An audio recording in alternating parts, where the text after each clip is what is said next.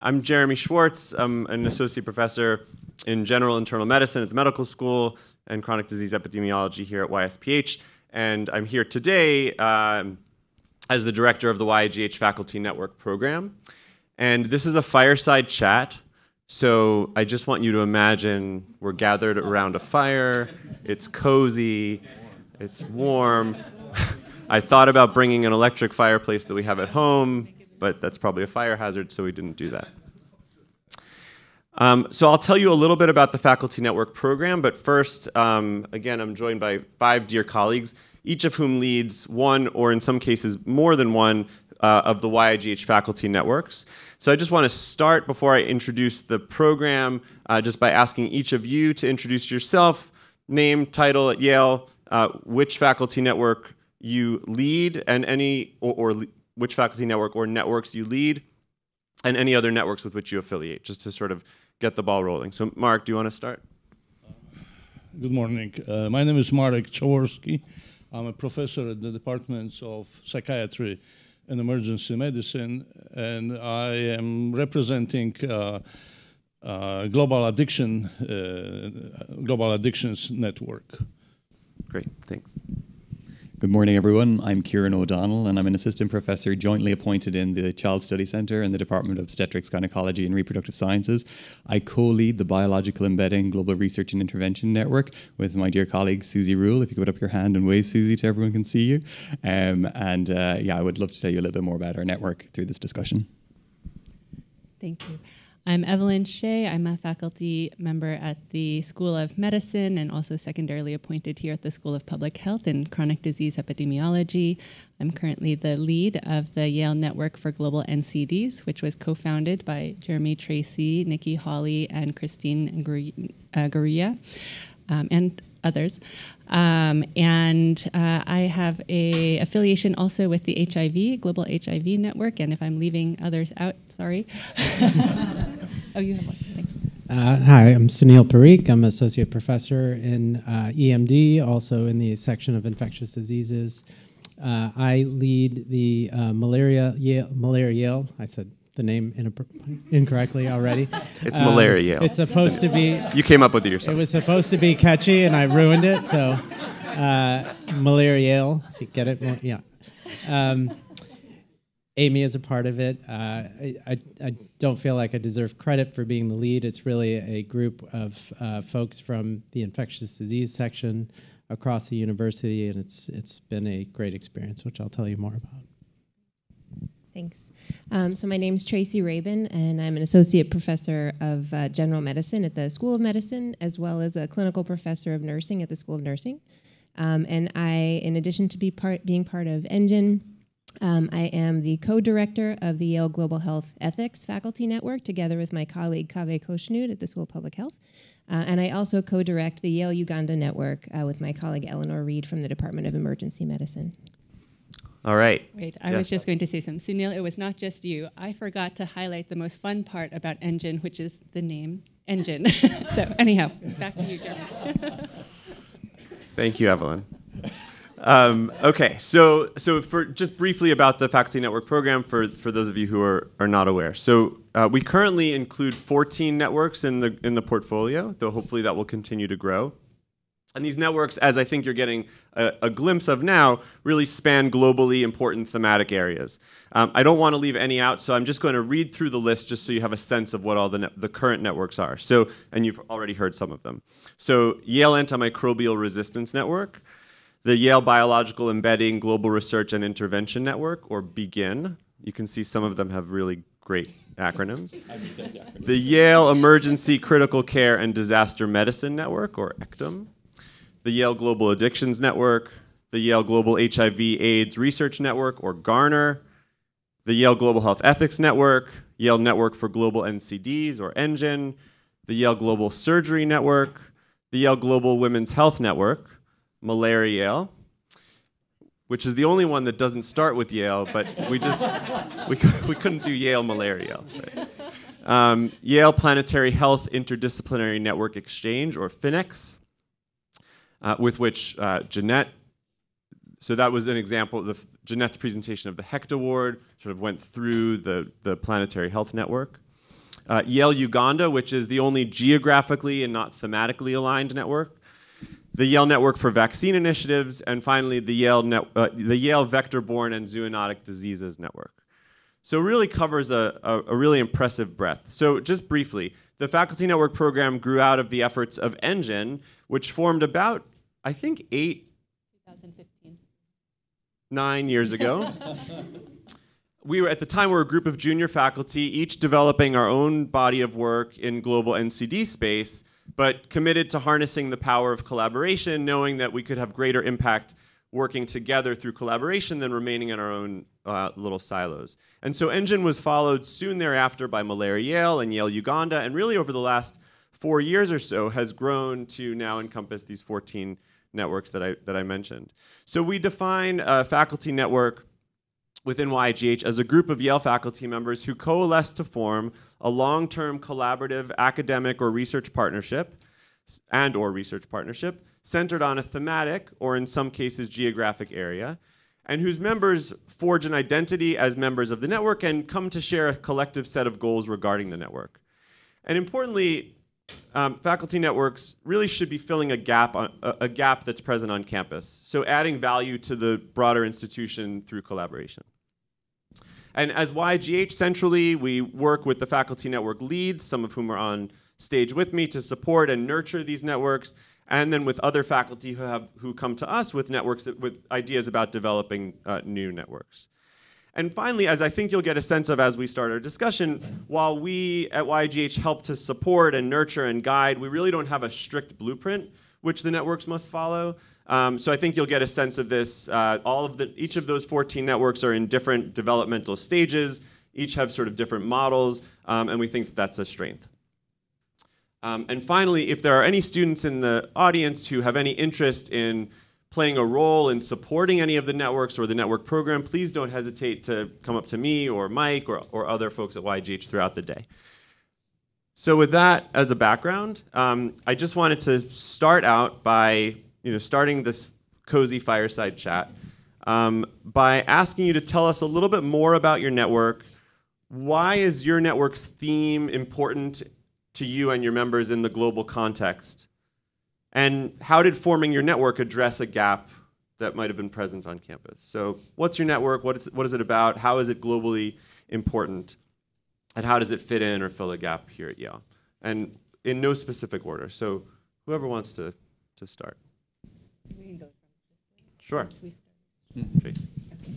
It was bound to happen. um, so, um, so the Yale Ethics Network. Uh, so my co- my colleague uh, Kaveh and I uh, were um, sort of had been engaging in different um, different programs uh, focused on educating students, students who are doing research, students who are doing clinical programs in global health. Um, but really thinking about how are they learning about the ethical challenges involved in, in each of those areas. And we had been independently doing this work for a number of years with groups of students um, as well. Uh, I would say myself, I started in 2010 um, engaging in doing sort of pre-departure training, talking with students who are about to engage on uh, in um, sort of clinical global health uh, uh um, trips, uh, rotations, uh, talking to them before they would go and then when they would come back. So we had been doing this for a number of years. The idea for the um, Institute for Global Health was um, in the works.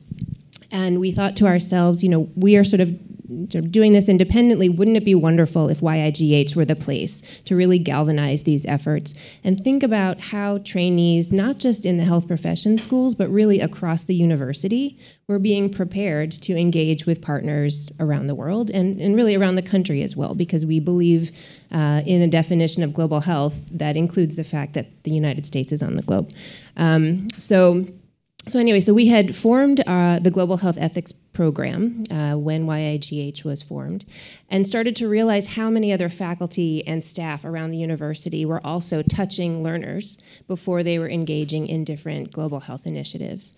Um, and I would say um, this sort of sparked the idea for the network. Um, and we, we may be one of the only networks that is, is really focused internally. So while our faculty are part of other initiatives around the university that are focused on ethics work that has sort of external reach, our purview has really grown to be around um, you know how are we preparing the learners at this institution? What are the role how are we serving as role models? What are the examples that we're setting for students who want to engage with partners in other places? And so um, our network really came to be um, around the time that a group that i'm part of an international interprofessional and multi-sectoral group called advocacy for global health partnerships was um, developing the Brocher declaration which is um, this international declaration that's focused on criteria that one should be thinking about when engaging in global health partnerships. So, thinking about bidirectionality, thinking about sustainability, thinking about who is driving the agenda. Six key principles. Um, and so, one of the first things that we did as a network was to talk with the leadership of YIGH and encourage them to actually sign on to this declaration.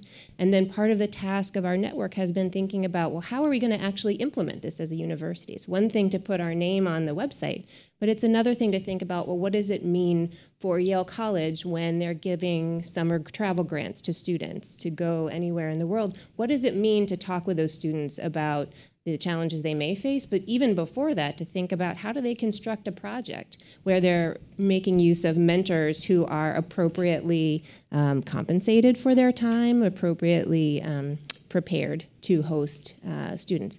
I would say that we've had um, just phenomenal participation, not just from faculty, but also staff. Um, I especially want to shout out my colleague Kate Nyhan, who is a phenomenal librarian at the medical school, who just is full of resources and is just so excited. Open access publishing is one issue that we've started to take on and thinking about, you know, how, you know, what do our faculty know about open access publishing and, and how, um, you know, how is our work um, being made accessible to partners around the globe? Um, so that is one issue that we've been focused on. Um, again, working with Yale College, I think one highlight um, of our network is that um, when our colleagues in the college were starting to revamp their pre-departure um, requirements for students, they reached out and we convened a group and said, well, we'll just provide some expertise from you know all around this, the the university, uh, thinking about how we each prepare our learners and how can we use um, those best practices to uh, augment efforts that the college is putting into place. So I will stop there. Great, thanks, Tracy. All right, Sunil. Thanks, Tracy. Uh, and I just want to highlight the pre-departure training that Tracy and others have been leading. Um, we've benefited with the Downs Fellowship, which some of you know about from that pre departure training. And it's been really a fantastic uh, part of the global health process here. So, I, um, again, uh, am part of the Malaria Yale Network. Amy is part of it. Um, when I, I came here in 2012, and there were a handful of people working in malaria, just actually, really one person working solely on malaria, but others that were working on malaria as part of what they were doing.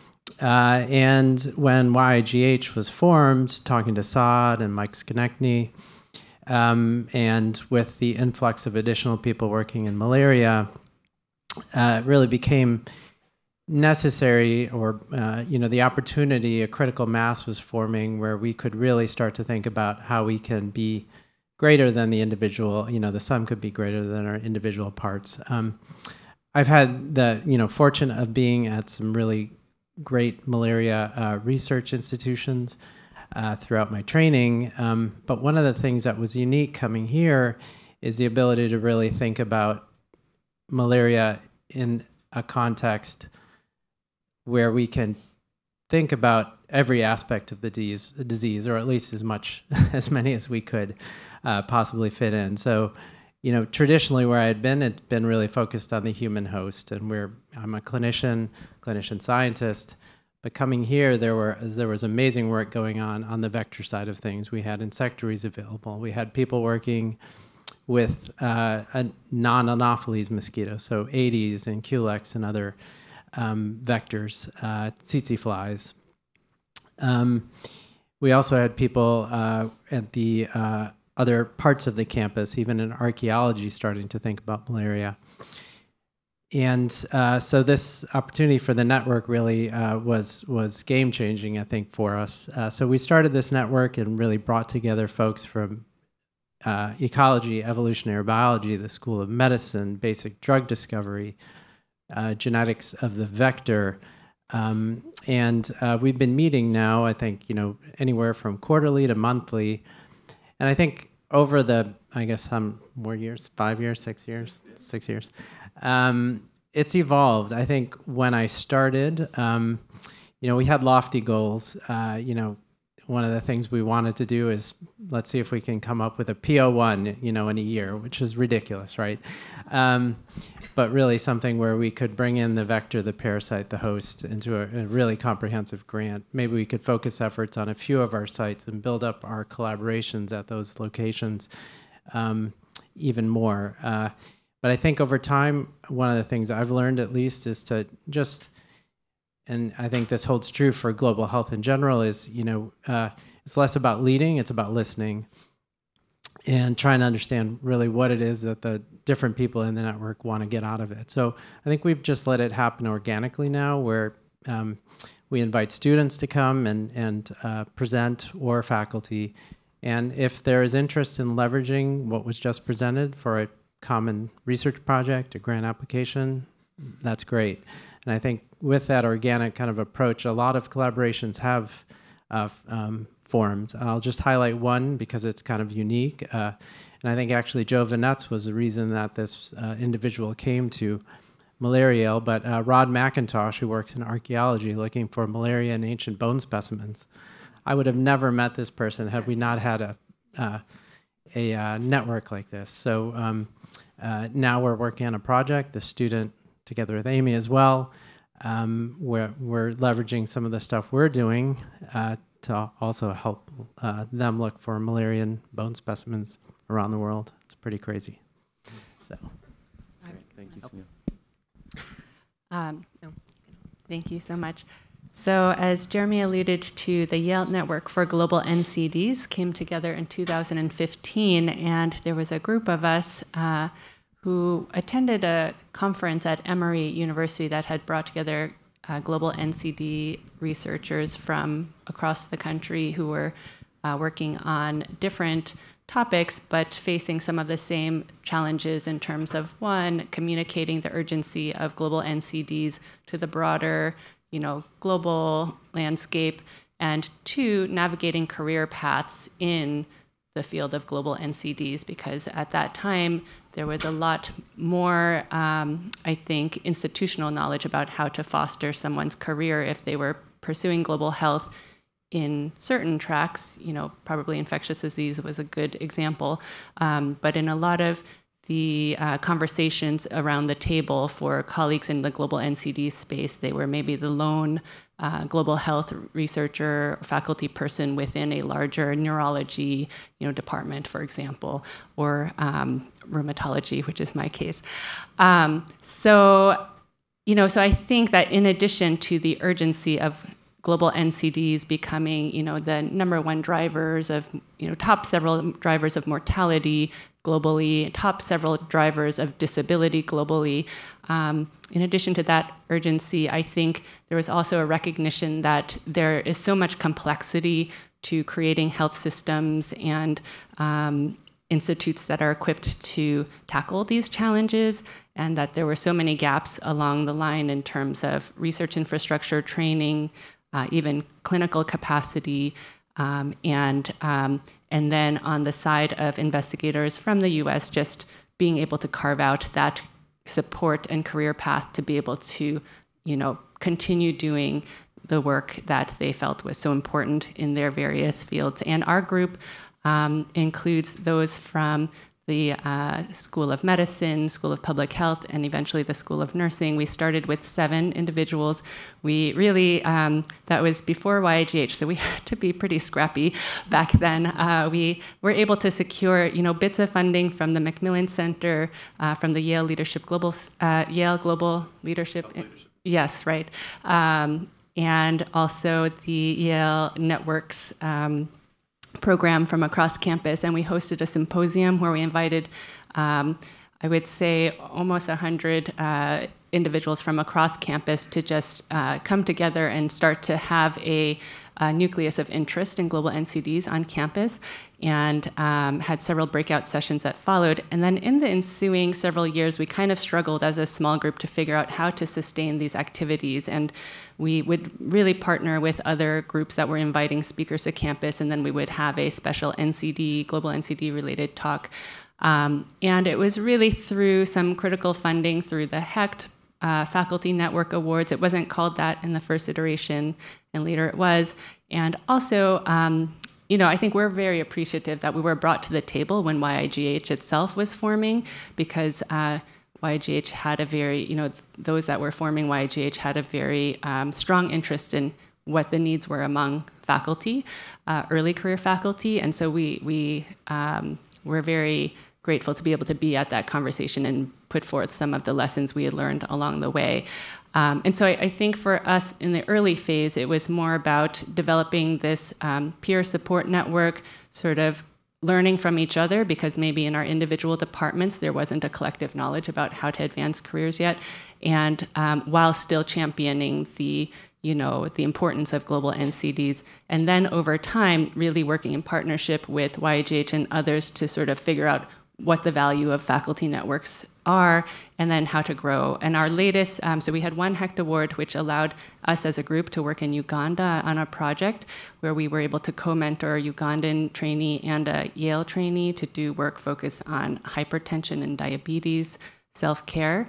And then later on, several years later, we were able to obtain another Hecht award to really expand ENGINE. And so now we have, you know, about 30 members, I would say, at the last count, from a really broad range of um, you know departments, uh, schools, and we have you know regular meetings where we have uh, faculty presenting work or their trainees presenting work. We have upcoming a pitch fest because we also have this sort of dream of the PO1 or you know P30, um, which kind of keeps us you know inspired and moving forward. Um, so, and we, we've engaged trainees in a lot of ways. I don't want to, in, in, several different ways. I don't want to give away the punchline because uh, our current ENGINE fellow will be presenting this afternoon, so I hope you can see that. Um, but we've had a few key projects where we've been able to bring in uh, trainees at different stages, whether it's med student, public health student, or um, postdoctoral or doctoral students. Um, and, and get them involved as well. I think I'm going to stop there, but yeah, um, you'll hear more Thank later. Good morning again, everyone. Such a pleasure to be here today. Um, you know, we've seen each other a lot on Zoom windows, and it's wonderful to actually meet in person. Um, I think, feel like I should start with a definition, though, because when we were having a conversation earlier this morning, I realized that the concept of biological embedding isn't necessarily familiar to everyone.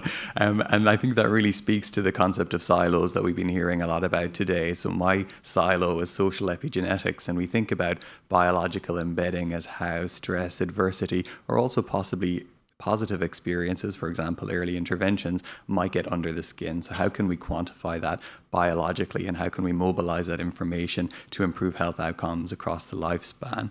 Now, so the Biological Embedding Global Research and Intervention Network is co led by myself and Suzi Ruhl, who you may know from EHS 544 Climate Equity and Health Policy Methods. Did I get that right? Phew. um, and so, what's I think interesting about our network and really drew me to working with Suzi on this is that inherent within our the design of our network is an emphasis on health policy. So, Suzi is an incredible environmental justice lawyer who's um, really um, advanced um, so many pieces of legislation that are critically important from a triple bottom line perspective. And so, with regard to our network, really, it's trying to fuse basic science, medicine, implementation science with um, health policy formation. Um, and so we do take a global to local perspective. Um, so with work occurring both internationally but also um, locally. And so I used a term there, triple bottom line justice, which again wasn't familiar to me when I first heard it and may not be familiar to many in the audience. Um, and so just in the same way that we think about there being no health without mental health, triple bottom line justice um, principle suggests that climate, our environmental justice, health justice, um, and economic justice are inextricably linked. And really, when we're thinking about initiatives, we need to be thinking about the broader perspective, incorporating all of these principles to really advance health and well-being of those that are overburdened and underserved. Um, so really, throughout the work that we do with the Begin Network, it's informed by triple bottom line justice principles. And at the core of triple bottom line justice is deep engagement with those overburdened and underserved individuals. So that's the definition, a very long-winded definition of our network name. Um, but the origin of our network really comes from upon reflection, quite an audacious idea and initiative, really led by my colleague um, Suzi. Um, and this idea um, stemmed from us joining Yale in the same day in 2020. It was an election year. And the idea was could we draft an executive order that we could get to the Biden Harris campaign that would focus on three generation health and well being, three generation mental health, with a tri- triple bottom line justice perspective. Um, so we brought together um, a number of colleagues across medicine, public health, School of Nursing, um, outside of Yale to really discuss what this would look like as a draft model executive order. And what we quickly realized, and this is a theme that we've heard so much this morning, is that we were each operating in our silos. So I was focused on basic research and public health and thinking, how can we get more funding for this type of research? My colleagues in the Child Study Centre who are focusing on clinical practice. How can we reach more people? How can we improve the um, health and well-being of our communities? And of course, then policy, thinking about how can we really just drive our agenda forward in terms of health policy. And what we really wanted to do was build upon this experience of trying to break down those silos across our respective disciplines and create some form of network that would allow us to come together regularly um, to discuss ideas. And really, that was the origin of um, Begin. I will say we are very early in our developmental stage, um, probably still early infancy. Um, I will also say that our table is very large. There is a lot of space at our table. And if there's anyone in the room that finds this network potentially of interest, please come see myself or Suzi. We'd be more than happy to um, have you join. Um, we will hear from Jeffrey Boateng, who's talking about some of the application of triple bottom line justice principles in Ghana. Um, so please do try and attend that lightning talk or um, support Jeffrey, who's working um, with Suzi. And in terms of other um, activities, I think one key um, uh, one, one of the key things that we recognized as a group is that if we really want to advance health policy, we need to be able to communicate our science effectively. Um, and so one of the things that we've done as a network um, was actually just to take part in Yale's media training um, so that we could actually just try and communicate our science more effectively. And so we're looking forward to having more uh, activities um, as a group going forward. Thanks, Kieran. I'll just mention, I mean, that, that last activity that you talked about was a great example of, I think, the potential of uh, cross inter cross network or inter network uh, collaboration, right? There are so all, all, of us I think could benefit from that, and we we've talked about how to um, improve that sort of cross pollination between networks, and that's a great example of, of that. Mark. So uh, our global addiction network is still struggling to figure out the best formula. Uh, there are multiple reasons. Uh, yeah, I mean, what type of activities and, and, and goals and, and aims that network should have. Um, one of the challenges that uh, there are several challenges uh, uh, for us to do so. So even before formation of the Global Addiction Network, we have we had a core, the current core of 20 or so most active members in that network we already had a network.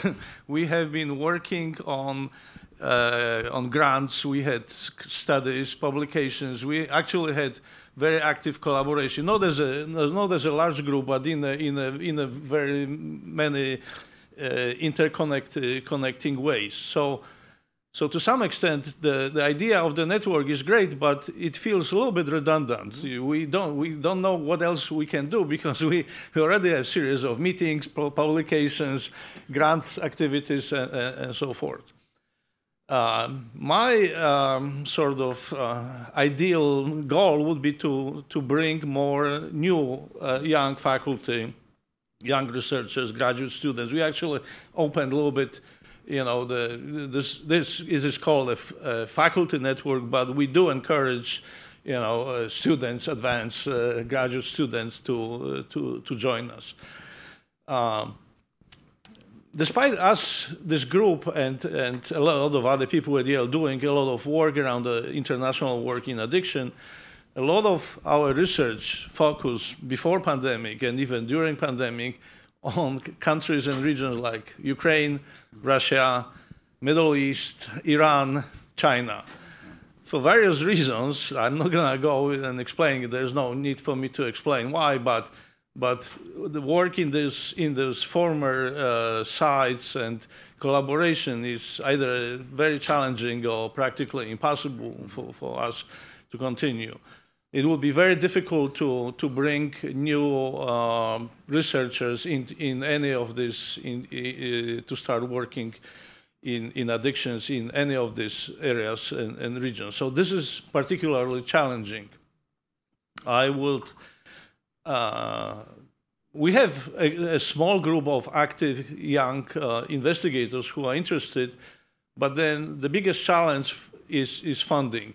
How do we bring them into the national to international uh, area and how do I help them establish the sort of, you know, ultimately independent uh, research without having uh, this some form of initial support. So we are working on, on, on various submissions to the current cycle of, of, of, the, uh, of the awards, but uh, I heard that you know there was a great um, in this room. There's a great enthusiasm for for global international work.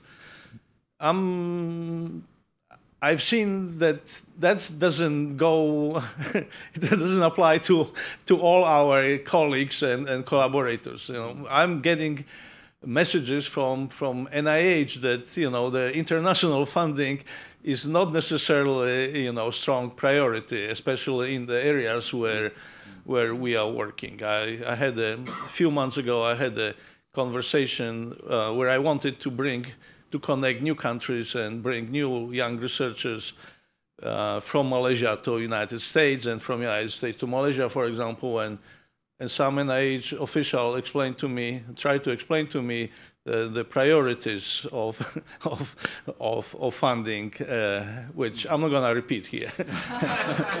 anyway, so uh, there are still organizations, um, probably Fogarty and, and, and, other organizations that are supportive of international work. But the climate is, is especially in, in our area where we, we struggle with, uh, with uh, substance use disorder, with um, interconnected HIV, um, violence, uh, trauma, mm -hmm. um, all these new problems related to the to the to the to the armed conflicts and and international policy between let's say China and United States these are the, the biggest challenges that, that, that we are facing yeah. mm -hmm. we are trying to working our activities are sort of you know fluctuating we meet not regularly. We have spurs of activities. We have been successful, as you know. We got few uh, uh awards as a, uh, as a working as a uh, and networking as as a group. Uh, but like I said, it's it's we, we still trying. We still don't know what is the best formula for for that type of work. Yeah. So I think we're we're all trying to figure it out together and as a group. And but I um, what you were just mentioning, Mark, about uh, some of the successes. Uh, can you speak a little bit about? So I'd like, I'd love to um, hear a little bit more from the group about how the networks have fostered, you know, collaboration amongst within. And Mark, you brought up a great example. I think you were referring to the group uh, within your network that has fostered collaboration with colleagues in Jordan. Yes, and Jordan. had some funding successes and brought collaborators from Jordan here to Yale and vice versa. So are you able to speak to that a little bit? Well, that's this is one of the of uh, of our success stories that we we and we put together a group of younger investigators uh, in our network, and there was a funding opportunity uh, that came through U.S. government. It was a small funding opportunity, and uh, we we helped them apply. They they received that funding. They started uh, building uh, educational collaboration training uh, between Jordanians and, and Yale. There was uh, there were visit exchanges, but again, you know, Jordan is right on the border of the of the of, of the of the place where, where we can still uh, travel. so uh, yeah. So there have been challenges associated. Yes, I do a lot of work I, myself and, and other colleagues, and I, I hear we can probably even, uh, among Yale investigators, we can probably establish a Malaysia uh, center network because a lot of people are working uh, working in Malaysia, myself included, and, and many of, of, of, my colleagues. That work continues, and, and I am, I've been making a lot of effort to engage people from other departments um, uh, in, in that work. Well, another challenge for us for working on global addiction is that addictions in, the United States are continue to, mm -hmm. to soar, and, and all of us uh, engage in, in, in tackling the, the opioid crisis and, and, and all related crises in the United States. So, so all the core members are extremely busy with, with multi-site studies in the U.S. Mm -hmm. They and that's that's that's that's another challenge that uh, you know prevents us to fully engage in, the, in, or distracts us from sometimes from the yeah. fully engaging in, in, in international or, or, global work. Yeah, great. Yeah, Evelyn. Um, so this actually isn't directly an answer to your question, but I, I think Mark brings up a really important point about some of the you know fluctuating challenges for um, particularly junior faculty who are uh, pursuing careers in global health. And in the case of ENGINE, as I mentioned earlier, I think there has always been a dearth of funding in the global NCD space, and we're lucky that certain institutes at the NIH have taken an interest, but it's very uneven across agencies and um, even you know during different administrations it may fluctuate. So I think that one of the key purposes of the network itself has been to sort of have peer mentoring and learning, you know, so that uh, people can maximize their knowledge of opportunities. Um, as Marek mentioned, you have to be very sort of creative and like really understand what the landscape is. And as one individual, particularly a junior faculty person, you really may not have access to that. And so in our you know, ENGINE group meetings, larger group meetings, um, a lot of time is set aside to just talk about opportunities and talk about shared you know, experiences. Someone said, "Oh, I heard about this kind of mechanism. Has anyone else applied for it?" And then people will, you know, talk about what worked, what didn't, or maybe introduce collaborators. And because I think it is really challenging, and on top of that, adding everything that Mark just alluded to, people may have worries about, you know, going in a certain direction and how is my you know department going to will they support me will they not and and these kind of networks really play a key role in helping find those peers who have been down that pathway a little bit further along than you are mm-hmm. and can can kind of share lessons learned. So. Yeah, I'll, I mean, I'll add. I think you alluded to, but just to explicitly say, you know, all of you and the other leads of these networks do that, play that role. Yes. Yeah. Um, without effort, right? So that's all that's right. additional time and energy with the, you know, in the spirit and hope of building collaboration and and bringing in additional resources eventually. But I think Are that you offering, should Jeremy? just be, should just be stated. So, uh, just sort of going back to challenges. So I think one one challenge that is particular to the Yale Ethics Network, Global Health Ethics Network, is I would say the lack of a university mandate. So I think that what has been just so amazing about this network is to really find all of the faculty and so many staff who are working with learners in different areas who are excited to think about, you know, what is the example that we're setting for the next generation of global health students who are doing research, clinical work, et cetera, and are being very thoughtful. There are so many people that are putting a lot of thought into how their partnerships are set up and how are they, you know, encouraging uh, capacity building with their partners and um, but there is nothing that is coming from the top down. And so I think it's been, you know, in some ways exciting as sort of a grassroots initiative to say, well, you know what? We are engaging with the staff running this program, that program, et cetera, and we're just going to start changing things because, you know, they're the ones who are making those decisions. But I think what we would love to get to is a place where we're seeing the schools taking a thoughtful thoughtful look and saying, well, well, what is the example that we want our faculty to set for their students when they're looking at the types of partnerships that they're setting up. So I think it is both a challenge, but also it's been you know exciting to have so many successes in the absence of any kind of overarching mandate. I was just going to mention, in, in the context of collaboration, I think one of the things that Suzi and I have recognized is that we need to lay the foundation for collaboration within our network um, with the idea that many people have expressed interest in the idea of tri- triple bottom line justice, but actually trying to write about that in a grant trying to implement that in your study design. So we're trying to seek funding at the moment to support a fellow who can just write, you know, kind of a how-to guide in terms of applying the principles of triple bottom line justice to your study design, but also could, you know, provide text for kind of the conceptual framework of triple bottom line justice in application to, to health. And what a contribution that would be as well. We just need the us. funding. yeah, I think one of the challenges we encountered in the beginning was um, you know, again, I think we wanted to create a forum where we could put together our various expertise and and apply for grants that were asking bigger questions, multidimensional questions.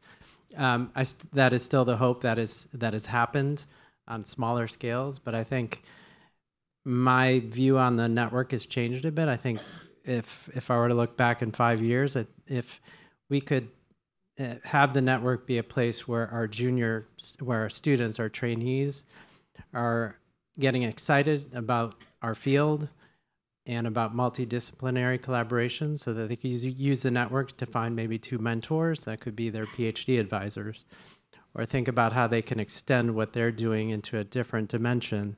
I think that would be a great success of the network um, because that is something I, I hadn't had throughout my training until coming here.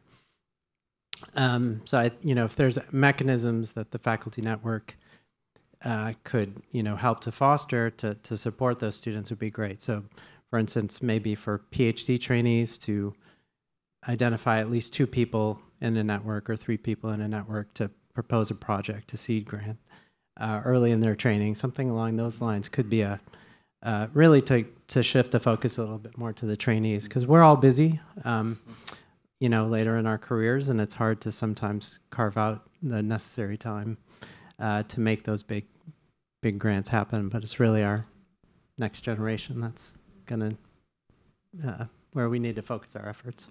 Yeah, you know, that's, it's a great point. I, and I wanted to circle back. Um, you know, a, a, number of you had mentioned partnerships and collaboration, and we've the discussion so far has been very much centered here locally on campus. Of course, all of the work that we do, whether in New Haven, in the country, or or globally, requires and uh, is fully dependent upon successful collaborations and partnerships. And so, we've had this tension, I think, within the network program as we define the membership of, of, of any particular faculty network to be Yale faculty, or in some cases, trainees, postdocs, whatnot. That excludes everyone else with whom we work. And so we've had this talk within, so we have these ideally quarterly, although lately less so. Uh, we call them NIPAD meetings or networks in process and development. And the idea is to bring the leads together with me and some of the core members of the YIGH team to just talk about the process of nurturing these networks and share challenges and successes. And so we've talked about this issue of how do we navigate those bound this boundary or artificial boundary of this network being Yale focused, but dependent upon all of our partners. And I was wondering if anybody had any comments or thoughts about um, where, where we could go with this or how you've navigated this within your own network. Oh, thank you. Um, so yes, this actually came up just yesterday um, at a ENGINE meeting because we do receive interest and requests from colleagues outside of Yale, and of course we all collaborate actively with many different um, collaborators in um, outside of the country and, and Yale. Um, and so I think it's been something that we've been figuring out the right um, way to make work in the current structure where membership itself is uh, linked to um, being a faculty person at Yale. So um, one plan that we have is uh, to have a symposium periodically where the focus of the symposium is actually to highlight the international collaborators and trainees who are you know, and, and also Yale trainees um, who are working in the field um, so that we kind of think of these like concentric circles of, of affiliation with ENGINE, and that the goal of that activity would be focused on bringing those um, folks in and and we've just talked about uh, growing a little bit of social media um, presence so that we can have a, a forum for outside um, um, parties to connect with us, mm-hmm. Even if they are not, you know, core members uh, in the sense that you just mentioned. Because I, you know, I think we appreciate also the goal of fostering um, Yale faculty career development and, and that there needs to be a little bit of structure to make sure there's focus on that. And um, again, that's been a big focus of ENGINE, but we very much you know, want to have structures in place to, to bring those outside collaborators um, mm-hmm. into the activities more as well. Yeah, great. Any other thoughts from the group? All right, so I think I'm, I'm getting text messages about an earthquake. Did, was there an earthquake oh, no. here? Was that what that was? There was. Wow. Really? Like right here? My chair. That's wild. Wow. Okay. Yeah. Hope everybody's okay. Um, okay, so I think we have we have about ten minutes left for this session, and I um, Can we just, just want. say that oh, of course, Kieran. was earth shaking. It was earth shaking. earth yes, we we in, we induced the earthquake. This panel was earth shaking. So would anyone like to um, follow that that comment with uh, with any questions or comments for the for the group? Questions about the program, specific networks.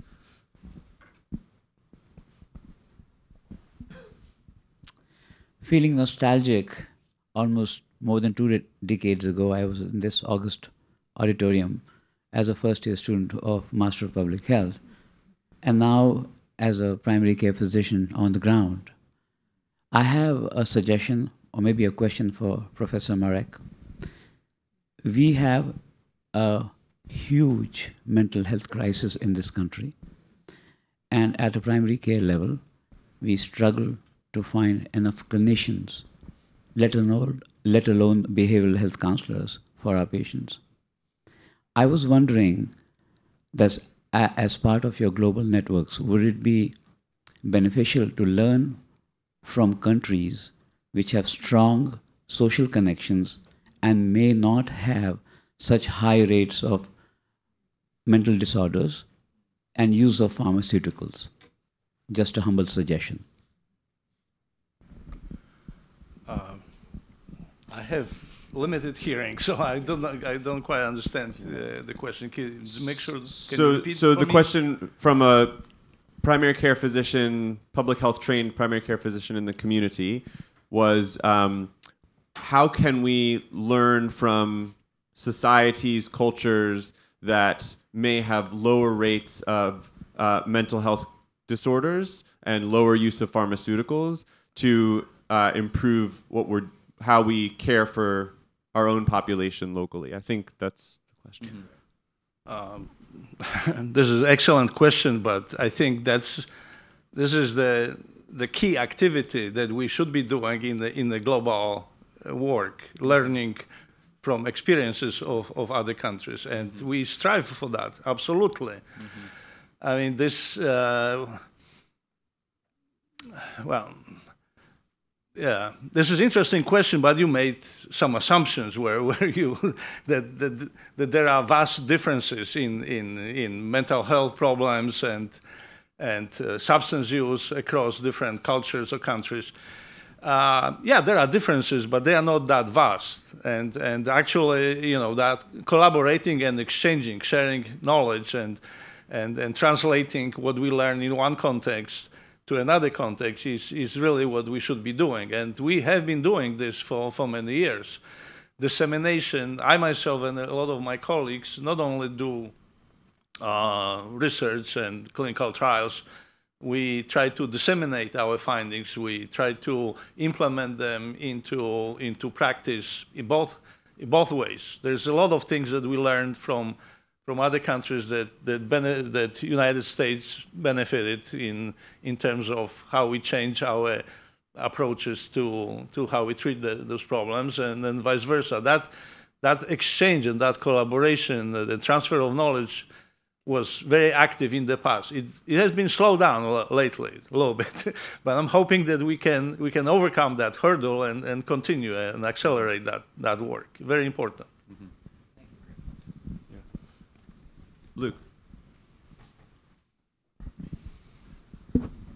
Uh, thanks. Wonderful to hear you all discussing. Um, I am a member of the Global AIDS Research uh, Faculty Network called Garner with Sheela Shenoi and Jeff Wickersham. And my question for the, you all is that one of the things I love about YIGH and these faculty networks is that they're very external facing. We're not always external facing. Um, sometimes for good reasons. We're focused on our students or our own research groups. But uh, a theme that I heard you all all mention was thinking about how do we have a greater impact, let's say, on policy. So translating evidence to policy, communicating to the public. And I'm just wondering, I, I find these types of networks, uh, we often can find colleagues who are very good at that. And to what degree have you all leveraged these networks to improve your practices? And, and how might we do that, let's say, within the Garner Network or other networks? Thanks.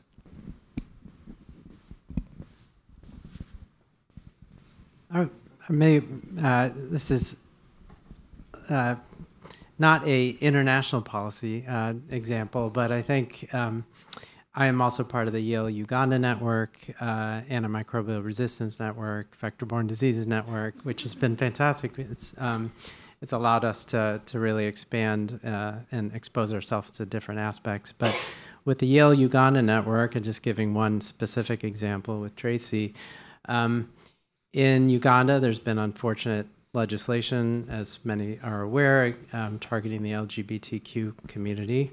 Um, many of us here in the audience work in Uganda, and just struggling with how is in how how to how to deal with that on an individual basis for our own projects. But you know, reached out to Tracy, and we've had conversations over. Um, uh, longer than care to imagine or mention um, about how to really uh, address this at a university level, you know, a school level, university level. Uh, so the network has really, I think, uh, provided the opportunity to to find others to to have these discussions and then try to bring this up to higher higher levels. So if we can inform policy or figure out how to support our students here and there. Um, so I think this these networks have really provided the opportunity, at least for for me, to to not feel alone in these issues and find uh, other people to discuss and, and, think about how we can make solutions. Can I just just briefly just to add on to that too? Thanks for highlighting that, Sunil. I think um, one other piece about you know with this particular example that's been important is there were so many people around the country who are also working in Uganda, working with partners in Uganda, who reached out to say, well, what is Yale doing? And it's very meaningful to be able to say, well, our Uganda network has you know 19 faculty who are members who are all working in different parts of the country with different collaborators we convened and this these are the thoughtful discussions that we've had. And to then talk with these other colleagues in other institutions around the US and have you know have these similar thoughtful discussions but to have the power of saying there are so many of us that are talking about this and trying to figure out how to navigate our students navigate our partners and navigate ourselves through this. So i think you know, locally here that has been that was a really helpful example, but even you know had ripple effects beyond beyond Yale. So, Kieran. Well, I would just say that I've, I've been a student very much in uh, in the context of trying to inform health policy, um, and maybe I'll call on Suzi to say a few words on this. But trying to recognise the levers for change. So where can you actually have impact and affect change? Um, so is that at the local level, connecting with your state representatives, submitting written testimony? You know, is it more at the federal level? And then if it's at the federal level, what are the different mechanisms for enacting change in policy? And that's something that as someone who grew up in Ireland and then lived in Canada, McGill for many years, um, I didn't understand how the federal government worked. And so just trying to have someone like Suzi who could kind of walk us through how policy actually can be changed and the mechanisms to do so was critically important. I don't know, Suzi, would you like to say a few words on that? Um, this has been an amazing panel. And Jeremy, thank you so much for your leadership in pulling all of us together and I have so many things I could touch on. But the one point right now is we are in an unprecedented opportunity that hits us every four years. And we, what Kieran and I launched and launched a BEGIN was seizing this time frame to coalesce our best thinking that's cross-sectional that reverse engineers from the impacted population. And that goes back to the model executive order we did four years ago. Well Kieran and I are ready to launch that effort again with developing another uh, model executive order for this next ed, uh, series of activities, which it begins with a campaign, which gets into a transition team, which gets into the administration, and then following up to a model executive order, there are a number of opportunities to harvest that analysis and apply it into the new decision making that will be coming in from the next administration, which could be the continuation of the current, uh, with that. So, with BEGIN, what we're trying to do is really provide that table to bring together that cross-sectional um, you know, reverse engineering from the people who are impacted by all of these issues and come up with what we think is a very strong, compelling statement backed by the evidence um, to go forward. So, like I said, I just want to emphasize right now we have a very important opportunity that uh, is demanding uh, attention.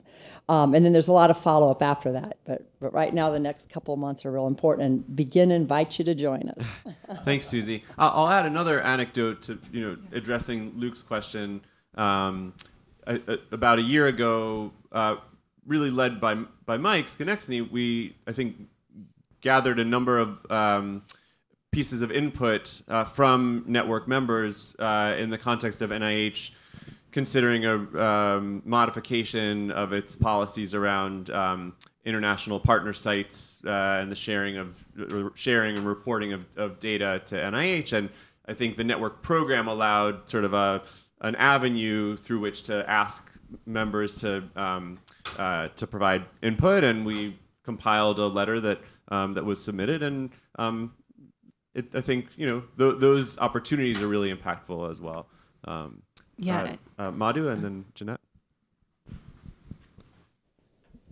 Thank you for the uh, wonderful discussion. Along the similar lines, I think given the, the prestige and power that the Yale name has, and given the importance of international partnerships for all of you across all networks, I hope you will do exactly what we've done at McGill. We wrote a very strong letter to our immigration minister saying that we are very unhappy with how Canada has been dealing with the visa issues. It has been devastating for us. It was bad all along, not as bad as the US. US is the world's most visa hostile country. Canada didn't have that reputation, but post pandemic, Canada is a nightmare. Uh, and, and it's especially bad for African applicants. So you can see that that's a, it's not just a uniform one, okay? They're really targeting some countries. And our AIDS conference in Montreal was absolutely a, a, a shit show because of that. Okay, it was shameful. So we wrote a strong letter and we got a four-page reply back, right? Which is quite impressive, and that can probably happen only in Canada. Um, they are legally bound to reply to us. Uh, but we signed, scores of us signed that letter. So it wasn't like one person writing. It was, it had the gravitas of McGill name, I think if all of you across all networks wrote a letter to your uh, home department saying that all of these issues are devastating for us, we cannot be bilateral partners, equitable partners, if this is how you're going to treat people. Because your first visa appointment in some countries is two years from now. Yeah. What on earth can you do? Who can you invite? What kind of conferences can you run here if this is how our own countries are going to be behaving? So it's along the lines of what you said there is an advocacy opportunity. And if you've done it for that NIH issue, there's no reason why you can't do it for something similar uh, as well. Yeah, thank you, Madhu. And, and no, Jeremy, I was just going to say, it sounds like this would be a great uh, example of what uh, like cross network um, activities could be because what Suzi talked about, I mean, that was you know nothing that I have experience with or many many of our members, and I, I, think we would love to hear more about just how that came together yeah, and, how to and harness the, this, the, yeah, the how to harness networks to, to really make advocate for change. Yeah, thank you, Jeanette. Did, no, okay. I, I think we're oh, one maybe final question in the back. That's okay, Daniel. That's all right, Daniel. Go for oh, go for it.